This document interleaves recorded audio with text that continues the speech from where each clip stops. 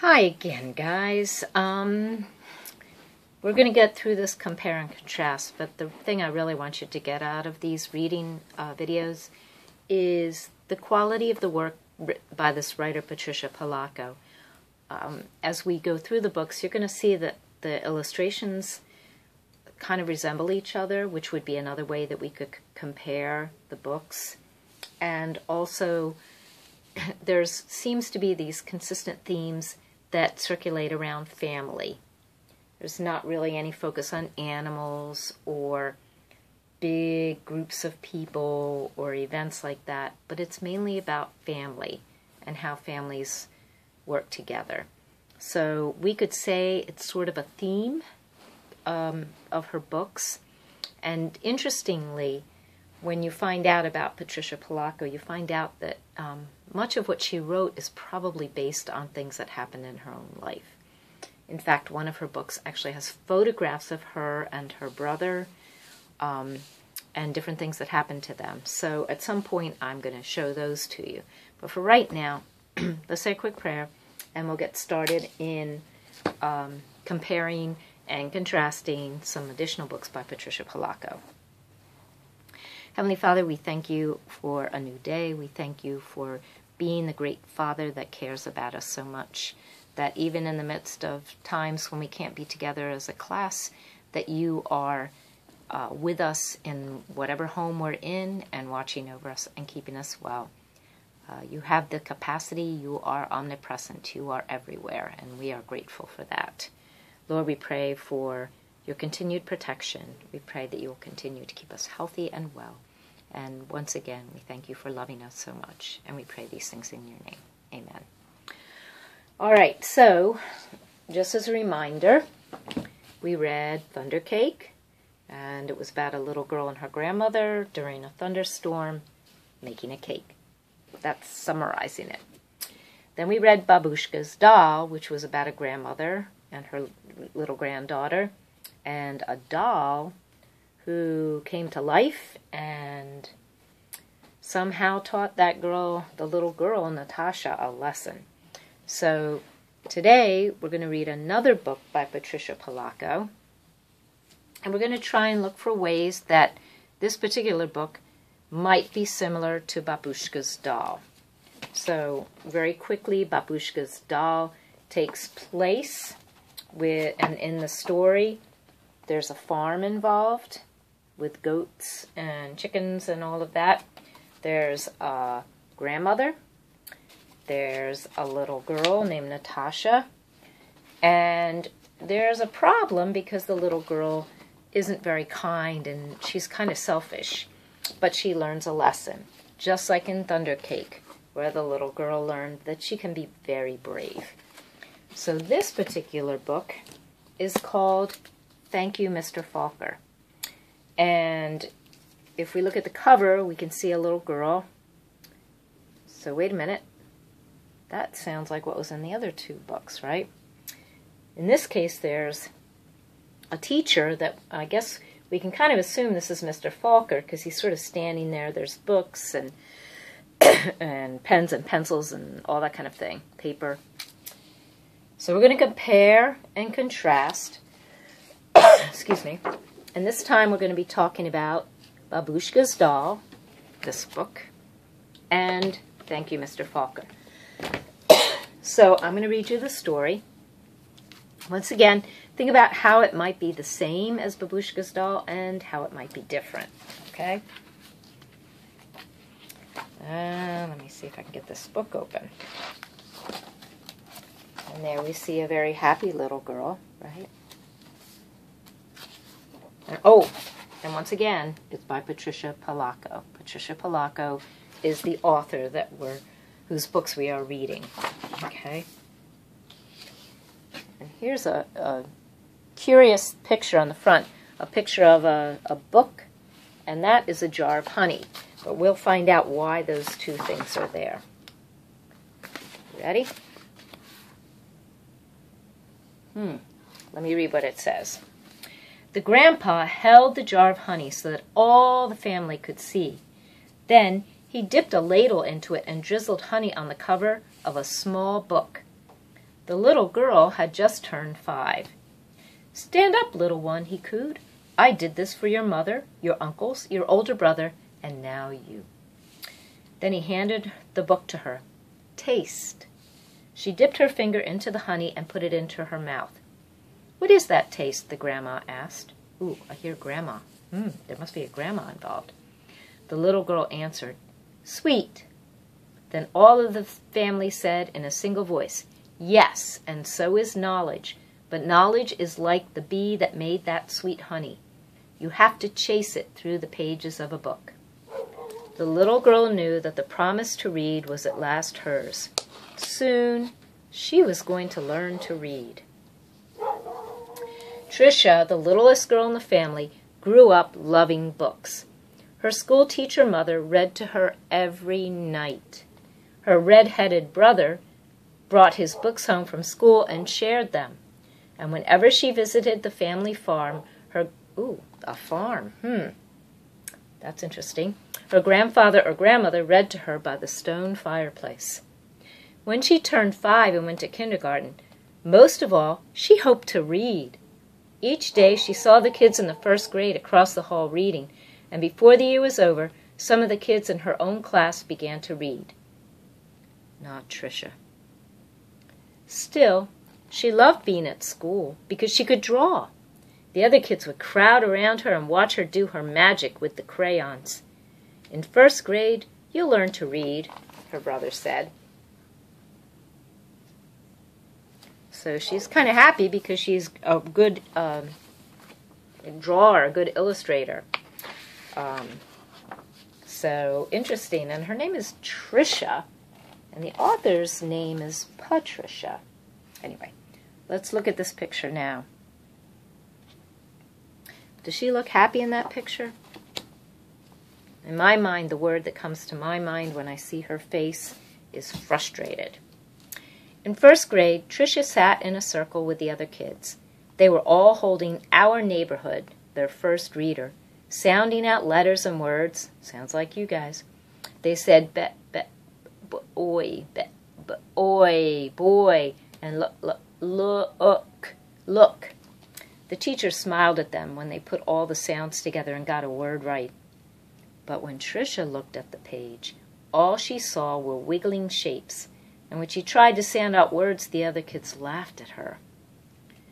Tricia, what are you looking at in that book? they'd say. I'm reading, she'd say back to them. But her teacher would move on to the next person. Always, when it was her turn to read, her teacher had to help her with every single word. And while the other kids moved up into the second reader and the third reader, she stayed alone in our neighborhood, which is the name of the book. Trisha began to feel different. She began to feel dumb. So let's look at that picture again. So we've seen some characters. There's Trisha, her grandmother, her grandfather, she's looks like it's taking place at school. So we remember we're trying to remember to ask questions of ourselves like who and what and where. Um, and when is when she's in first kindergarten and first grade. Um, but what's the problem? That's the really important question. And in this case, as I'm reading, I realize the problem is this is a little girl who's very discouraged because she's not able to read the way she would like to like all of her friends. That looks like a grandmother and a little girl. Hmm. Sounds an awful lot like some other books that we read. The harder words got for the little girl, the more and more time she spent drawing. How she loved to draw. Or just sitting and dreaming or, when she could, going for walks with her grandmother. One summer day, she and her grandma were walking together in the small woods behind their farm. Hmm, grandmother, little girl farm. It was twilight. Ah, I remember grandfather, twilight. Ah, good thing to think about that, too. The air was sweet and warm. Fireflies were just coming up from the grasses. Now, one thing I can tell you is that I know fireflies generally only come out in the summertime, so it must be summer. That's when this is happening. As they walked, Tricia said, Grandma, do you think I'm different? Of course, her grandma answered. To be different is the miracle of life. You see all of those little fireflies. Everyone is different. Do you think I'm smart? Tricia, Tricia didn't feel smart. Her grandma hugged her. You are the smartest, quickest, dearest little thing ever. Right then, the little girl felt safe in her grandma's arms. Reading didn't matter so much.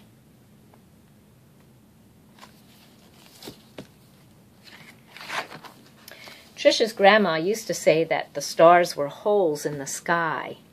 We know that. They're not holes, they're actually big balls of hot gas. They were the light of heaven coming from the other side.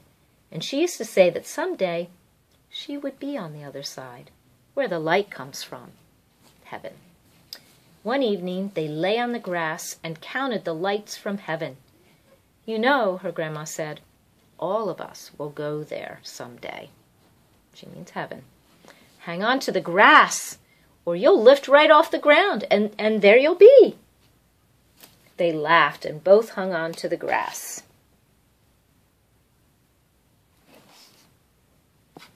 But it was not long after that night that her grandma must have let go of the grass because she went to where the lights were on the other side.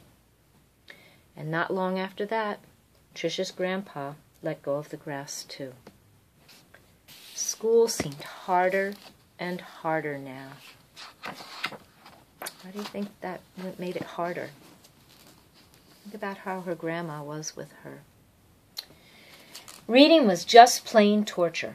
When Sue Ellen read her page or Tommy Bob read his page, they read so easily that Tricia would watch the top of their heads to see if something was happening to their heads that wasn't happening to hers. And numbers were the hardest thing of all to read. She never added anything right. Line the numbers up before you add them, the teacher would say. But when Tricia tried, the numbers looked like a stack of blocks, wobbly and ready to fall. She just knew she was dumb. Then one day her mother said that she had gotten a teaching job in California, a long way from the family farm in Michigan. So here's Tricia in school with all of her friends who are reading and she can't read. Even though her grandma and grandpa were gone, the little girl didn't want to move. Maybe, though, the teachers and kids in her new school wouldn't know how dumb she was. She and her mother and brother moved across the country in a two tone 1949 Plymouth. It took five days, probably because they didn't drive all day and all night. But at the new school, uh oh, that doesn't look too good, does it? That doesn't look good at all. But at the new school, it was the same.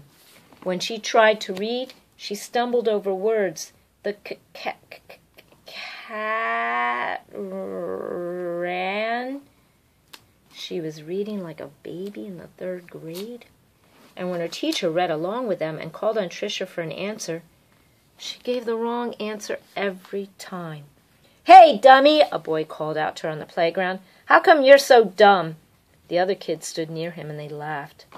Tricia could feel the tears burning in her eyes. How she longed to go back to her grandparents' farm in Michigan. She doesn't have her grandmom anymore encouraging her either. Now Tricia wanted to go to school less and less. Oh, I have a sore throat, she'd say to her mother, or I have a stomach ache.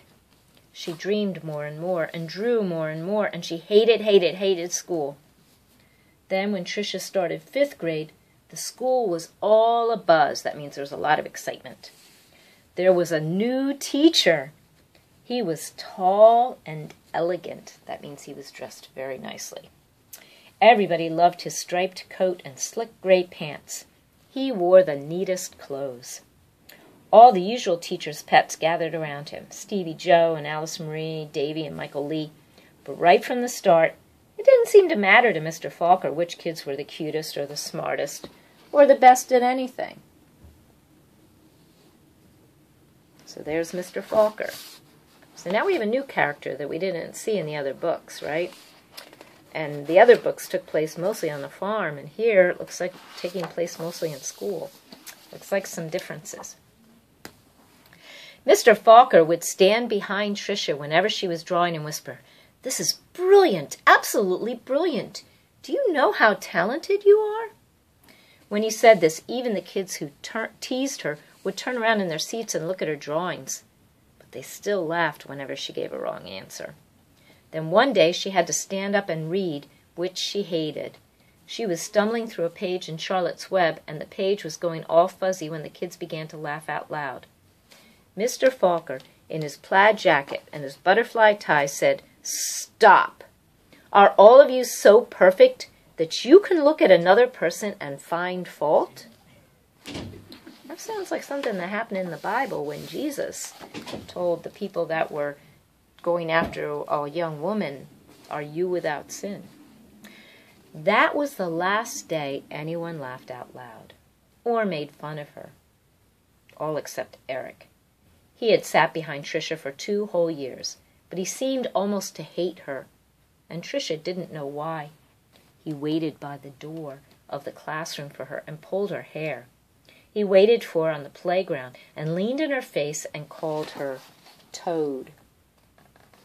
I don't know why Toad, but Tricia was afraid to turn any corner for fear Eric would be there. She felt completely alone. The only time she was really happy was when she was around Mr. Falker. He let her erase the blackboards. Only the best students got to do that. He patted her on the back whenever she got something right, and look, he looked hard and mean at any kid who teased her. But the nicer Mr. Falker was to Tricia, the worse Eric treated her. He got all the other kids to wait for her on the playground or in the cafeteria or even in the bathroom and to jump out and call her stupid or ugly. And Tricia began to believe them. She discovered that if she could just ask to go to the bathroom just before recess, she could hide under the inside stairwell during the free time and not have to go outside at all. In that dark place, she felt safe. That's kind of sad, isn't it? You wouldn't want your friends or people in your class to feel that way, would you? But one day at recess, Eric followed her to her secret hiding place. Have you become a mole? he laughed. And he pulled her out into the hallway and danced around her. Dumbbell, dumbbell, maggoty old dumbbell. Tricia buried her head in her arms and curled up in a ball. Suddenly she heard footsteps. It was Mr. Falker. He marched Eric down to the office, and when he came back, he found Tricia. I don't think you'll have to worry about that boy any again, he said softly. What was he teasing you about, little one? I don't know, Tricia shrugged. Oops. I want to make sure you see this picture. It's important.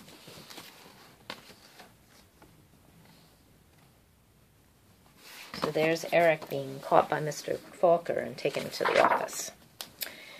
Tricia was sure Mr. Falker believed that she could read. She had learned to memorize what the kid next to her was reading. Or she would wait for Mr. Falker to help her with a sentence. Then she'd say the same thing that he did. Good, he would say. Then one day Mr. Falker asked her to stay after school and help wash the blackboards. He put on music and brought out little sandwiches as they worked and talked. All at once he said, Let's play a game. I'll shout out letters. You write them on the board with the wet sponge as quickly as you can. A, he shouted. She wiped a watery A. Eight, he shouted. She made a watery eight. Fourteen, three, D, M, Q, he shouted out. He shouted out many, many letters and numbers. Then he walked up behind her, and together they looked at the board. It was a watery mess. Tricia knew that none of the letters or numbers looked like they should. She threw the sponge down and tried to run.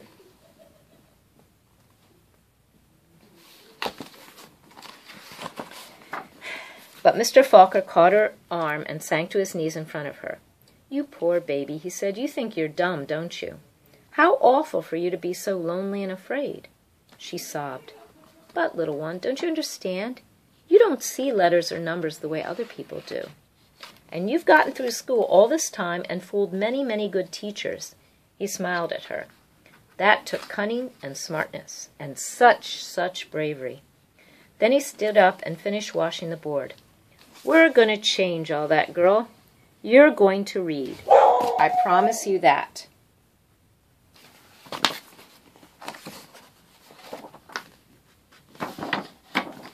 Now, almost every day after school, she met with Mr. Falker and Miss Plessy, a reading teacher. They did a lot of things she didn't even understand. At first, she made circles in sand, and then big sponge circles on the blackboard, going from left to right, left to right. Another day, they flicked letters on a screen, and Tricia, Tricia shouted them out loud. Still other days, she worked with wooden blocks and built words letters, letters, letters, words, words, words, always sounding them out, and that felt good. But though she'd read words, she hadn't read a whole sentence, and deep down, she still felt dumb. And then, one spring day, had it been three months or four months since they had started?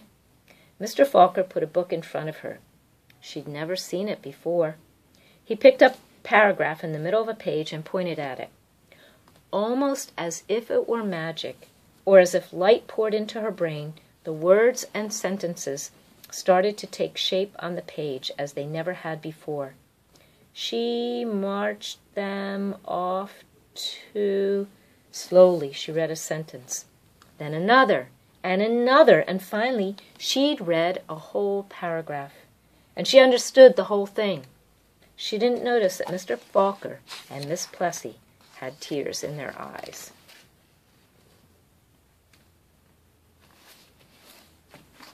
Notice the background. This is really important because there's the holes in the sky that her grandmother talked about. Remember, her grandfather was talking about her learning to read. That night, Tricia ran home without stopping to catch her breath. She bounded up the front steps, threw open her front door, and ran through the dining room to the kitchen. She climbed up on the, on the cupboard and grabbed a jar of honey. Then she went into the living room and found the book on a shelf, the very book that her grandpa had shown her so many years ago.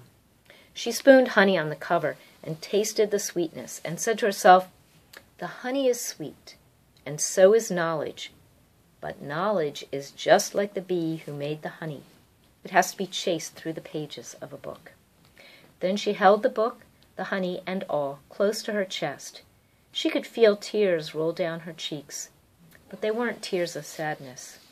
She was happy, so very happy.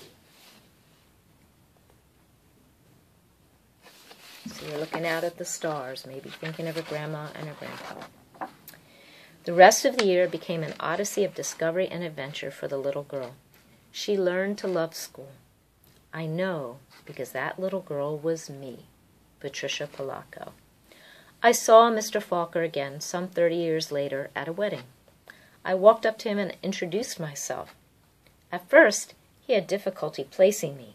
Then I told him who I was and how he had changed my life so many years ago. He hugged me and asked me what I did for a living. Why, Mr. Falker, I answered, I make books for children. Thank you, Mr. Falker. Thank you. All right. So, I, I think that's a wonderful book, especially since I'm a teacher and I always want to be inspired to, to help my students. But in this case, let's compare and contrast before we run out of time. So, first of all, we know that as we compare this book to Babushka's doll, both books have a little girl and a grandma. So I'm going to put that down, kind of like our other book, Thunder Cake.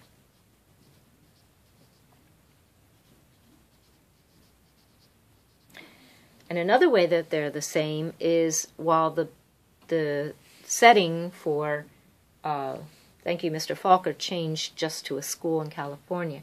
It did have some of the time on a farm, which was true in her in the other book.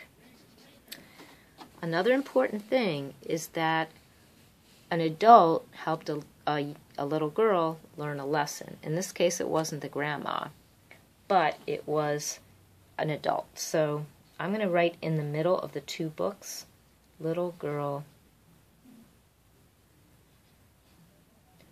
Learns a Lesson. And in Thank You, Mr. Falker, it was a lesson that she was good enough. And, you know, in our in the Bible we're told that God has created us and He's created us just the way we should be. And she was created to be an, an author of children's books and it took someone to help her see that she was able to do that. All right, how were they different? Well, in Babushka's doll, we had a doll. And Thank You, Mr. Falker, see I put the doll, we had a teacher. And in the in Babushka's doll, the doll taught the little girl a lesson. In Thank You, Mr. Falker, the teacher taught the girl a lesson about how good she is. In Thank You, Mr. Falker, there was a lot of being at the school, okay? School and school activities. In Babushka's doll, there was a lot on the farm the goat cart and feeding the goats and chickens and all that kind of thing. So, um, I'm going to tell that as my contrast is the farm life. Okay? So I've completed this chart, and once again, there's more that you could probably add, other things that I didn't put in here, but you think about and you say, well, you know, there was other things. There were students that weren't in the other book. There was um, trying to read in one book and trying to be patient in the other book. So I want you to think about how those how those differences appear because we're going to continue to compare the books that she wrote and continue to look at how they are different, contrasting them.